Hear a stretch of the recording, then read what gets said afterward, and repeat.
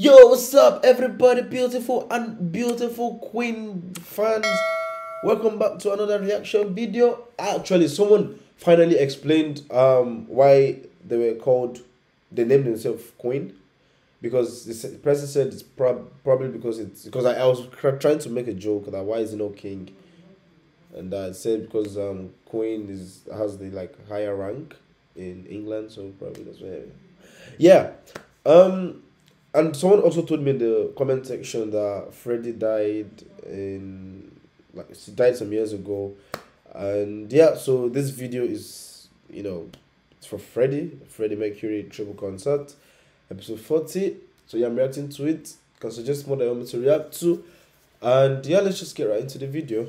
Open your eyes. Oh, Rhapsody, Open your eyes. Bohemian Rhapsody. Yeah. Look up to the skies. and- Welcome back to Queen the Greatest, where we are remembering an event that wasn't just one of the greatest and most significant in the history of Queen, but also in the entire history of rock music. Yeah, not just rock music. I feel like it's probably the entire music. The Freddie Mercury tribute concert. Come, easy go. The overwhelming outpouring of love that followed the tragic passing of Freddie convinced Roger, Brian, John, and Jim Beach that there needed to be some kind of event to celebrate the life and achievements of their best friend. We're here tonight to celebrate the life and work Oh, there was still a band when he died. Oh, and dreams of one so who? There was the singer. There was okay. I'll see. I'll say. Oh my god, the video The quality, biggest man. send-off in history. So we drew up a list of people that we'd like to be on the show. Roger got the, the ball rolling. Roger got up one morning and said, Look, we're doing this, right? Ah, this is And made drama. A few phone Oh yeah, this is a drama. this is a drama. I still remember his face. And Brian said, Well, if you can get that lot, I'll go, I'll come. So suddenly we're performing with David Bowie and Robert Plant. You know, you look around and who is this? You know, Tony Iommi's beside me, who's a lifelong friend, you know, the most amazing artists of our lives.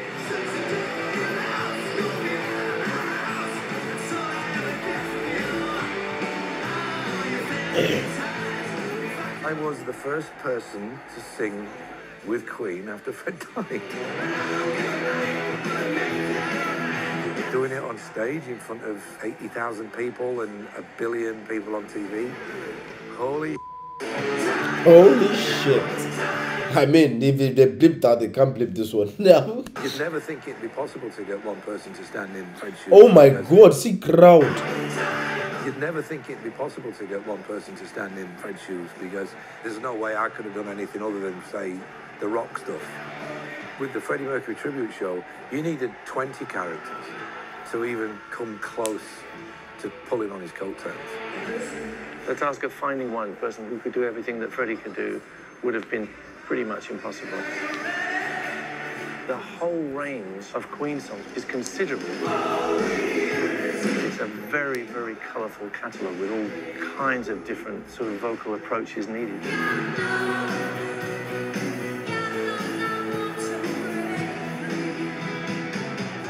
It did bring home the fact that Freddie Oh was God. so incredibly talented on so many levels and how hard it was for anybody to cover as much ground as Freddie covered. Wait, they had like a group um singer as well in rock. Wow, I never knew that. Like you know, kind of like the choir kind of thing. Anyone thought they were going to show up and be the next Freddie Mercury. It ain't easy, man. That is man. Bohemian Rhapsody, man. It's still my favorite Queen song, and probably you guys as well. I don't know. You can tell me which one is your favorite Queen song of all time. Mine is Bohemian Rhapsody, hands down, no argument.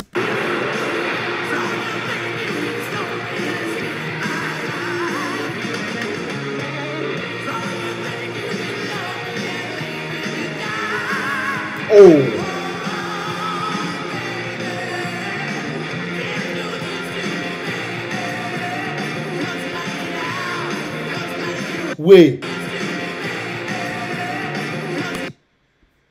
How old was he here?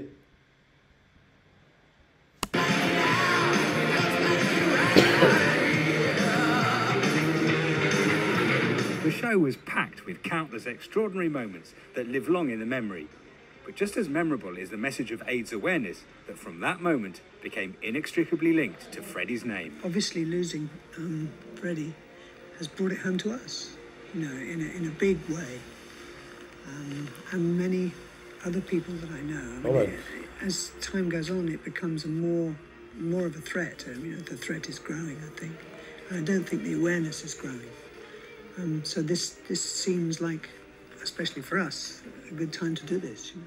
As the emotional yet triumphant night drew to a close, everybody watching hoped this would not be the last they would see and hear of Queen. It's done. Okay, so I was about to ask why he still had black all black hair in the previous interview, but now he's Elliot was next to me as we walked off, and he just grabbed my arm and he said, Brian, look at that. I said, You need to stand here and look at this because you will never, ever see this again. If this is the end, what a way to go. And for the first time, I looked out and I thought, ah, how amazing. You know, this amount of love got poured out to our friend.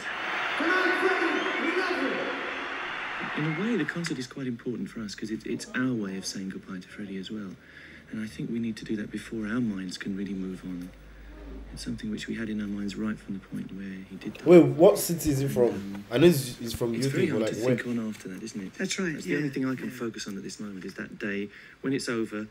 There's a new world out there in some way.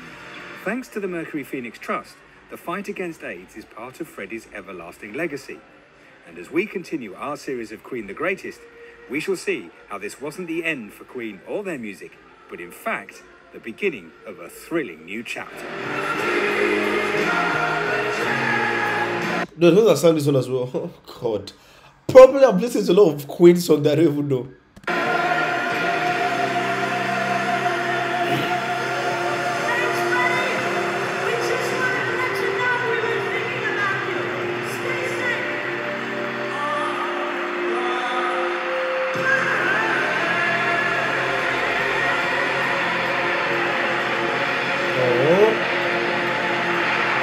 Oh. my God! How many? What the fuck? How many rock groups?